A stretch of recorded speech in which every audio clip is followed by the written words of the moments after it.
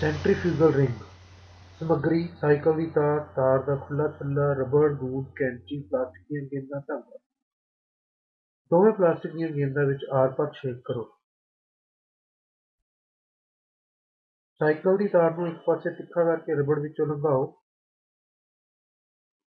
ਦੋਵੇਂ ਗੇਂਦਾਂ ਨੂੰ ਤਾਰ ਦੇ ਛੱਲੇ ਵਿੱਚ ਪਰੋ ਦਿਓ।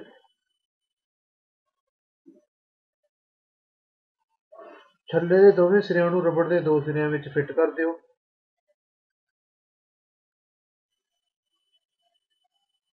ਸਾਰੇ ਜੋੜਾਂ ਨੂੰ ਗੂੰਦ ਲਗਾ ਕੇ ਪੱਕਾ ਕਰ ਦਿਓ।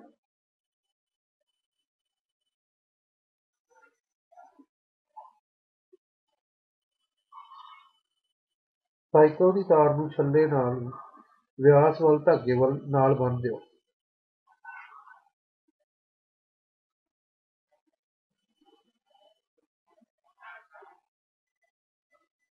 ਧਾਗੇ ਦੇ ਜੋੜ ਨੂੰ ਵੀ ਗੂੰਦ ਲਗਾ ਕੇ ਪੱਕਾ ਕਰ ਦਿਓ। ਸਾਈਕਲ ਦੀ ਤਾਰ ਨੂੰ ਹੇਠਾਂ ਰੱਖ ਕੇ ਉੱਪਰੋਂ ਉਂਗਲੀਆਂ ਨਾਲ ਘੁਮਾਓ। ਗੇਂਦਾਂ ਛੱਲੇ ਉੱਪਰ ਵੱਲ ਨੂੰ ਜਾਂਦੀਆਂ ਹਨ ਅਤੇ ਛੱਡਣ ਤੇ ਹੇਠਾਂ ਆ ਜਾਂਦੀਆਂ ਹਨ।